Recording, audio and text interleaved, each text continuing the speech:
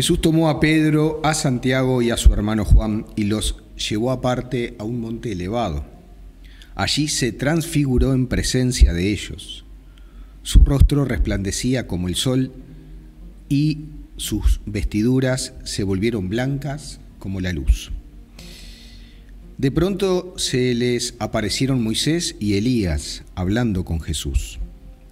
Pedro dijo a Jesús, Señor, qué bien estamos aquí.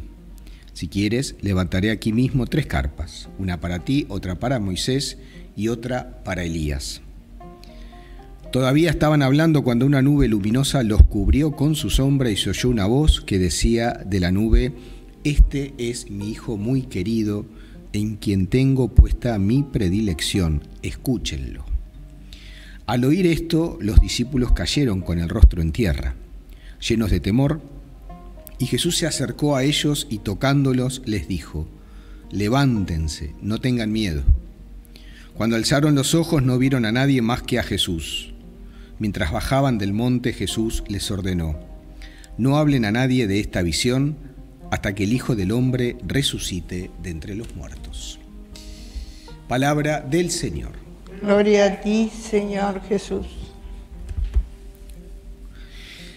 La experiencia de la transfiguración es el adelanto de lo que vendrá.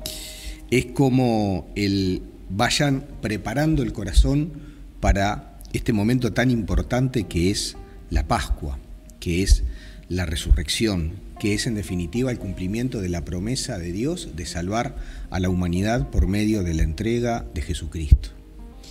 Pero también el Evangelio en sí mismo tiene, a mí me parece, dos o tres acciones que son muy importantes para hoy también nosotros en pleno tiempo de cuaresma vivirlo. Eh, primero que nada, ese sentir que Dios nos llama en Jesucristo. Así como llamó a Pedro y a Santiago y a, Santiago y a Juan y los llevó al monte elevado, hoy también Jesús nos llama a nosotros como discípulos para llevarnos al monte elevado ¿Qué quiere decir esta imagen del monte elevado? Para que podamos en el encuentro con Jesucristo levantar la mirada y poder mirar mucho más allá de lo sensorial, de lo que yo puedo ver con, mis ojos. Esa mirada de fe que hace que no me quede en lo chiquito y que hace que mi mundo, o que mejor dicho, el mundo no sea mis circunstancias, sino que hay algo mucho más allá de lo mío que se llama mundo, que se llama reino y al cual yo estoy llamado también a dar testimonio. Siempre tenemos que tener la mirada levantada, elevada. Esa imagen es muy bonita. Jesús nos lleva al monte, eh, nos eleva eh, al elegirnos a nosotros como bautizados para enviarnos a la misión. Y después lo otro es justamente lo que Jesús le dice una vez que los discípulos viven la experiencia y caen con rostro en tierra. Levántense, no tengan miedo. Otra de las invitaciones que hoy creo que es fundamental en nuestros tiempos. Los cristianos no tenemos que tener miedo. Nos tenemos que levantar y no tener miedo.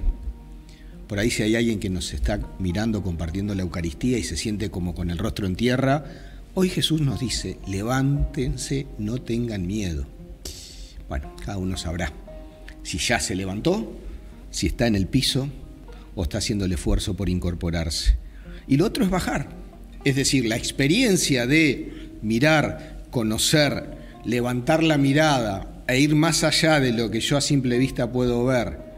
La experiencia de que Jesús viene y me dice y nos dice, levántense, no tengan miedo, ahora se traduce en, cuando volvamos a nuestra realidad, a nuestra cotidianidad, que realmente esto esté presente tengo la mirada alzada, levantada, porque Jesús así lo ha querido, y tengo la experiencia de que Él, cada vez que yo caigo, me dice, no tengas miedo, levántate.